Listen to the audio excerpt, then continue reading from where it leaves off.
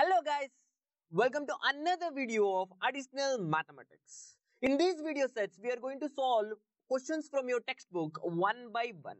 If you do not want to miss our videos, please do subscribe to our channel right now. Let's start today's question. Okay, what is given in the question? We have to find the modulus and also amplitude of the following complex number and also we have to express this in the form of polar. So what you need to do? First, we need to compare this question with x plus iy.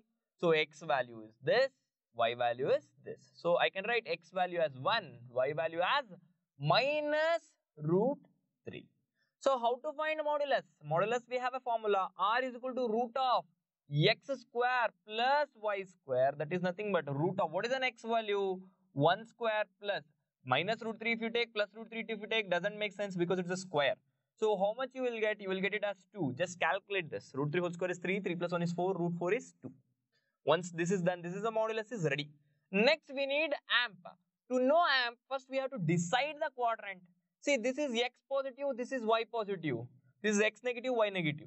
We have x positive, y negative. It is in which quadrant? Fourth quadrant. What is given question? 1 minus root 3i. It is in which quadrant?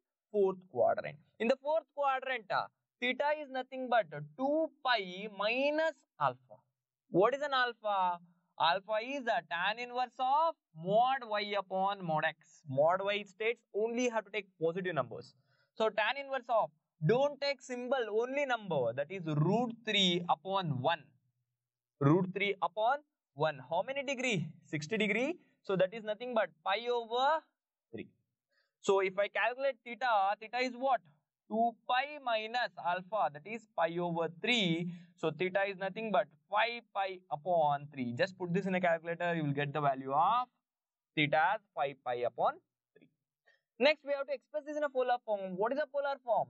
Z is equal to R into cos theta plus I sin theta. So Z is equal to, what is an R value? R value is 2 cos, what is theta value? 5 pi upon 3 plus i sine, what is again theta value? 5 pi upon 3.